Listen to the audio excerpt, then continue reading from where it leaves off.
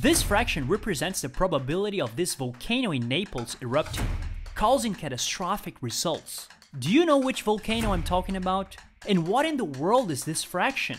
How do we calculate this probability? And after we do it, is it actually going to be able to prevent the catastrophe? The answers to these questions may surprise you. Let's go down to Naples, Italy, also known as Napoli in Italian. Most people know about Vesuvio, a famous and active volcano that last erupted as recently as 1944. But of course, it's most famous for burying the city of Pompeii, which we now have an archaeological site at, with everything well preserved. Sophia and I have been there and saw how the whole city was stuck in time. Imagining people dying this way is a scary thought on its own. But what I want to talk about is a much, much, much bigger volcano, located just to the left of Vesuvio, called Campi Flegrei. In the year 39,000, it had one of the biggest eruptions in all human history, wiping out any life within a 100 kilometers or 62 miles radius. Just to give you an idea, the eruption was at the very least 100 times more powerful than that of Vesuvio in 79 AD when Pompeii happened. Anyway, swipe 41,000 years and the volcano is showing steady activity. I know it last erupted in the 1500s. Yes, the point is, the eruptions are not very frequent, but they have the potential to be significantly more catastrophic than the one expected by Vesuvius. The question is, which probability can best predict its eruption? Bayesian, frequentism, or propensity probability? Well, before answering that, we need to answer a very different question that seems completely unrelated, but it is not. Will the sun rise tomorrow? It comes from a question posed by Richard Price in 1763. This is the percentage that expresses the likelihood of the sun not rising tomorrow. And of course, that means that there is a 99.990002% chance that it will. I mean, Things like that seem obvious to us. Of course it will. But how do you prove that mathematically? I mean, how do I even get to this calculation? And why do we need to be able to prove that mathematically if the answer is so obvious? Well, that's because there are urgent and life-threatening questions out there that require this answer, like the Campi Flegrei. The first person to come up with that very specific percentage was Pierre Laplace in his study of Bayesian probability. Bayesian probability is a way of interpreting probability. It's kind of like when you have a package of information and you make probable conclusions based on that package. Like, say you have a jar containing 50 red and 50 yellow gummies. If you were to randomly pick one gummy from the jar, the probability of picking a red gummy would be 50%, based on the proportion of red gummies in the jar. Now, imagine that someone who can see into the jar gives you a hint that they see more red gummies near the top of the jar. With this new information, you can update your belief and probability about picking a red gummy, because new evidence suggests it's more likely. Let's apply that to the original question of will the sun rise tomorrow? Laplace considered the long history of daily sunrise as evidence. Using the rule of succession, he argued that if the sun has risen k times in the past, the probability that it will rise again tomorrow is the fraction k plus 1 over k plus 2. That is calculated as the integral over the interval 0, 1 of p to the power of k plus 1 divided by the integral of p to the power of k. Here p is the long-run frequency of sunrises. In other words, the sun rises 100 times p percent of days. Of course, we cannot know p exactly, and that's why it is treated as a uniform probability distribution.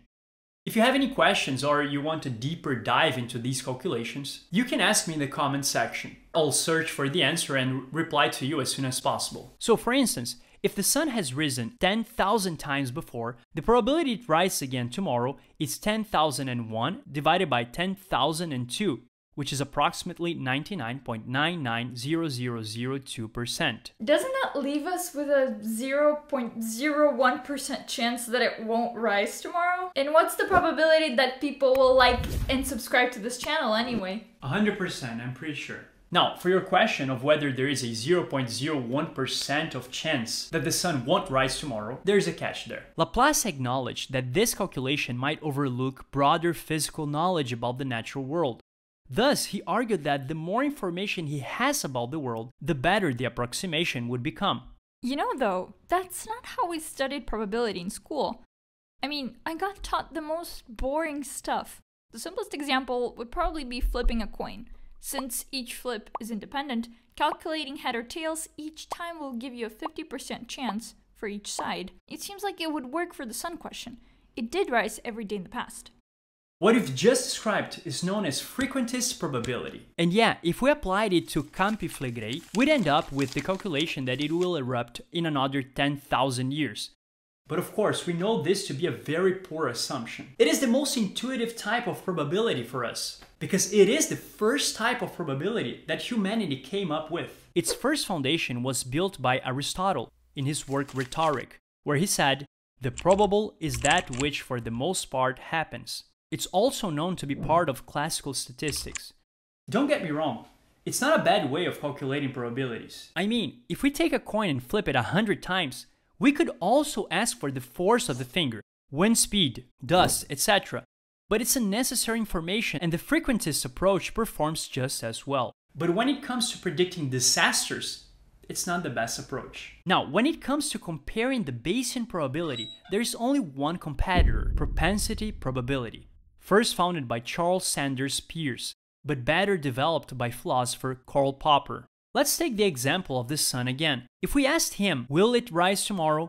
He'd give us a different answer. Under Popper's interpretation, the probability would be seen as the tendency of the relevant conditions today to lead to sunrise tomorrow. Here, the conditions include the Earth's rotation, its position relative to the sun, and the laws of physics that govern these phenomena. Popper would likely argue that, given these conditions, the tendency for the sun to rise is essentially 100%, assuming no drastic change in the physical conditions or laws of nature today. This approach essentially says that the probability is not about how often the sun has risen in the past, but how the physical conditions of today will lead to it rising tomorrow. But it sounds exactly like Bayesian probability to me.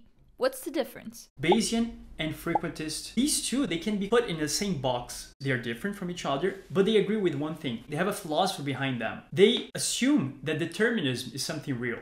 If we could have an infinite amount of data and all the possible information about the system. We could predict everything that is going to happen in the future without 100% of certainty. But we never can do it, so that's why we can only have better models or worse models, but no perfect models. Propensity probability is more something apl applicable to physics, specifically to quantum mechanics. It has this philosophy behind that believes that a system is intrinsically probabilistic. And you cannot even if you have all the data in the world if you have even if you have all the variables you will never be able to have a perfect model. Determinism is just impossible. It doesn't exist. And that's the view of quantum mechanics for example. And these two philosophies i know it's not mathematics not physics it's philosophy but it, it guides you in the equations and in the formulas to develop really totally different models in the end but has it actually helped in the past like to predict some sort of catastrophe or something like that. So many times. Hurricane forecasting, earthquake preparedness, disease outbreak management, and many others. Like during the 2014 Ebola outbreak in West Africa, probabilistic models were used to predict the spread of the disease, helping to allocate resources effectively